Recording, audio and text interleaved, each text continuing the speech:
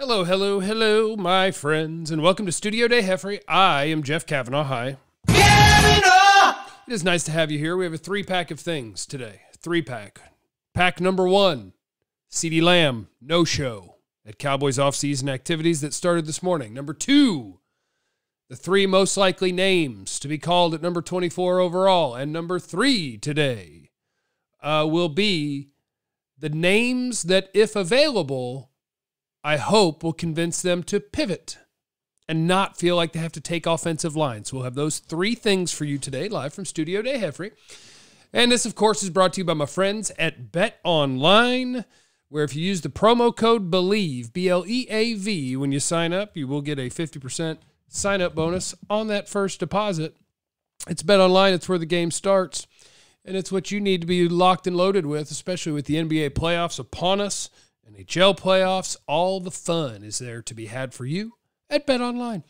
All right, number one CeeDee Lamb is not at, I believe Michael Gehlken said the first thing the Cowboys had was an 8 a.m. team meeting. CeeDee Lamb not there. Shocking. A guy going into the fifth year of his rookie contract. The final year of his rookie contract is a no show for OTAs uh, because that's what you do. Standard operating procedure.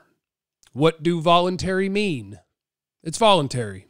This is when you make your little statement without really disrupting anything. You just don't show up and you say, "Hey, come on, let's have some, let's have some chats. Let me get my monies."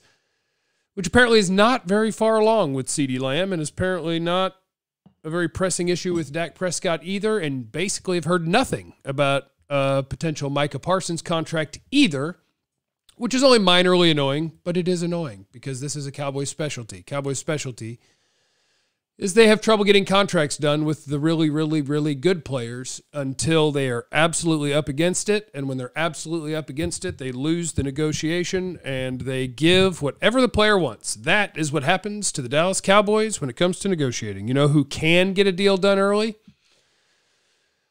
Uh, CeeDee, not, I'm not, I'm sorry, not CeeDee Lamb. Uh, Terence Steele got a deal done early. Jaylon Smith got a deal done early. Zeke Elliott got a deal done early because he held out. So that was like Zeke is a running back. Jaylon is a guy who had one leg, and Terence Steele's a guy who had one leg at the time. The Cowboys don't have a problem getting it done with some guys. If you call them up and you're like, hey, I was thinking about getting a deal done, they're like, we'll take whatever you'll give us. And they're like, okay, cool. Here's your contract. Have a great day.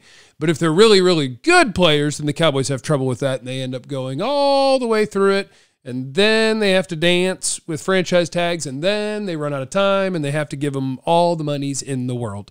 So it would be better if the Cowboys were able to handle this like, say, the Eagles just did with DeVonta Smith. It's a little bit different because he's not setting the market.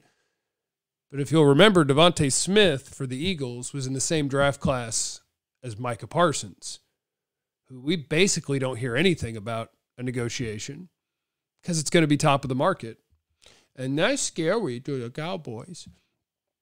But DeVonta Smith, after three years, they're like, oh, yeah, good player. You got two years left on your deal. You know that we could tag you after that. That's when you should be negotiating a contract with the guys that you really, really like, is after their third year when you're first allowed to.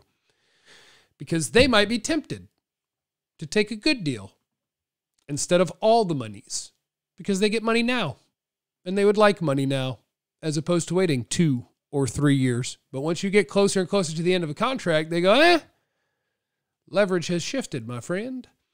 So CeeDee's not there, and he'll show up when it's time to show up, when it's no longer voluntary in June, I would imagine, and then they'll go play football. So is it a big deal? No, it's not a big deal. It's just annoying that that is the that that news comes out on the same day that DeVonta Smith getting a new contract news comes out, and so it's just annoying the Eagles are better at the way that they play with the cap, anticipate and manipulate the cap. They're better at it than the Cowboys are because they have better people in those jobs. Anyway, we move on because it's draft season.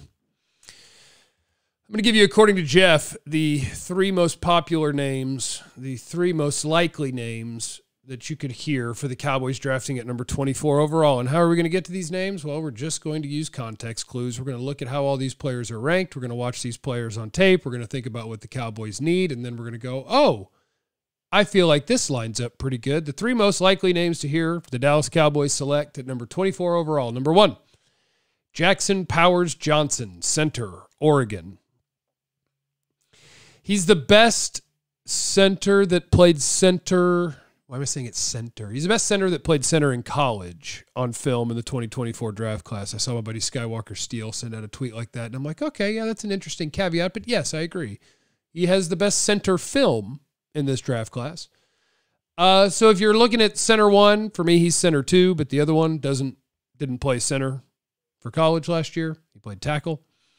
Uh, Jackson Powers Johnson, big position of need for the Cowboys. I do think that is the position on the offensive line that if things don't fall their way, they might be willing to just give it a rip with Brock Hoffman or TJ Bass because the Cowboys aren't taking things seriously this offseason. Uh, I do think that's the most likely spot of the two on offensive line that could be manned by somebody that's already on the roster is center if it doesn't fall their way. Because I don't. Mm, that is interesting, though. It won't be left tackle. Left tackle won't be manned by someone on the roster unless it's somebody that's moving in Tyler Smith. And then maybe you're talking about TJ Bass at left guard. I don't know. It just depends how unserious they want to be and just pretend that people in house can do everything as opposed to bringing in anyone to help.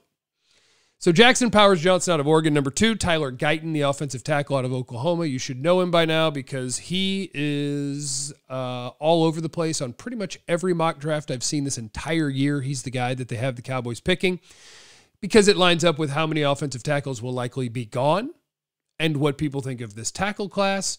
He kind of becomes the next man up when the Cowboys are on the clock, most likely.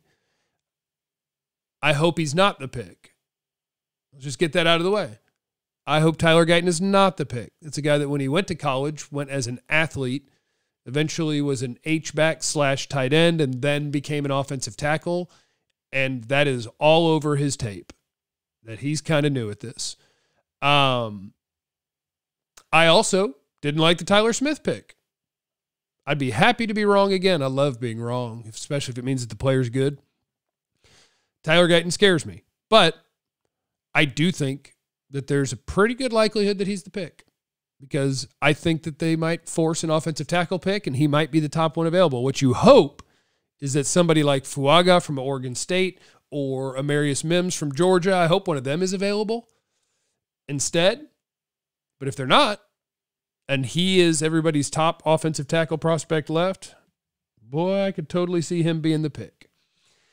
Third of my most likely to be picked candidates, Graham Barton out of Duke. He was an offensive tackle, really nice player, and he's my top center prospect in this draft. So, two center guys and a tackle guy. And Barton could probably play multiple positions. And boy, they love the words position flex. I hate them, but they love them. Those are my three most likely guys. Jackson Powers Johnson and Graham Barton, centers, and Tyler Guyton, offensive tackle. And I will reiterate, I think this is a great year to trade down if you find the opportunity because some of those names would still be in play. You could add the name Zach Frazier, the West Virginia center, who I think is a nice prospect. Uh, you could start throwing in some other offensive line names, maybe Cooper Beebe, Kansas State guard. You could throw in other names, and you could add draft capital. That's my dream. And then I also wanted to mention in this video one other, there's just one more thing. I was just thinking about okay, what if we pivoted away from offensive line for a second? Like, what is ways that the draft could fall where you would pick a non offensive line position in the first round? And I think it's unlikely that any of these guys are available, but I do think it's worth mentioning the pass rush group in this draft is okay.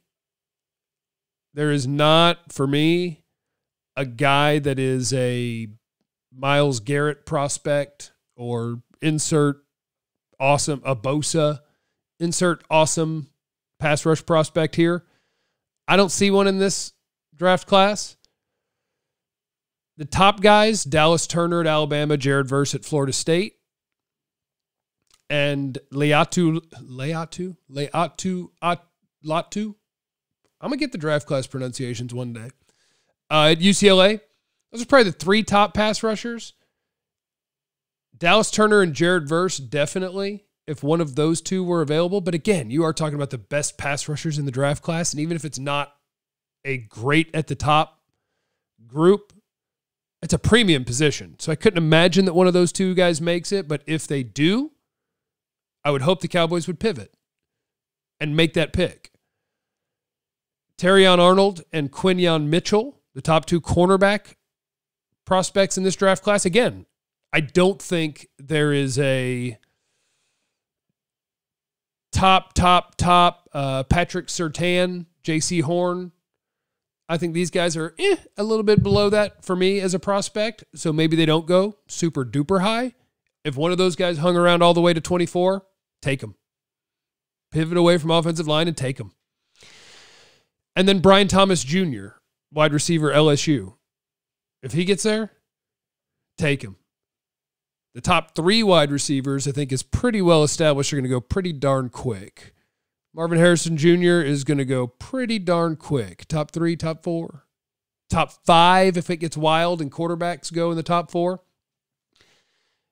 And Malik Nabers from LSU and Rome Odunze from Washington are going to follow him off the board pretty quick. But Brian Thomas Jr., if he makes it to 24, forget the offensive line, figure it out later. The problem is the Cowboys are one of the only teams in football that aren't setting themselves up to be able to do that. You have to set yourself up to do that. If a gift falls in your lap, you take it. And we'll figure the rest out later. That's why football God inv- invented free agency. That's why football God invented trading so that you can then use the draft, aka the most value intensive way of adding players. I get to add whoever I want to pick it is very cost controlled. And if I can get guys at premium positions on a cost controlled deal, that is awesome. So if that falls in your lap with a corner, with a receiver, with a pass rusher, you snap that up so fast and you figure out the offensive line later. So those are my three things today. No CeeDee, no big deal. Just annoying watching how other teams play with the cap versus how the Cowboys end up dealing with it. But no big deal. He'll be here when it matters. Most likely Cowboys selections in the first round Jackson Powers Johnson, Tyler Guyton, Graham Barton. And guys that I hope make them pivot if they're available Dallas Turner, Jared Verse, Terrion Arnold, Quinyon Mitchell, Brian Thomas Jr. That's Cowboy stuff for the day. Uh, it would be very helpful for me if you'd hit the little thumbs up and leave in the comments What's today's comment? What's your favorite cheese to put on a grilled cheese? Leave that in the comments. These are algorithm things. I want thumbs up and I want comments flying all over the place. Who do you want to pick at 24? Throw all the things in there. Remember, you have no idea what anyone's going through, so be cool to everyone. I love you. Be easy.